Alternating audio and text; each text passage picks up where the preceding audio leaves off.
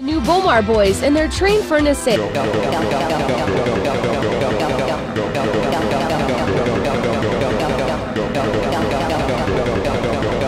Say hi to the new Bomar boys, and their train furnace for an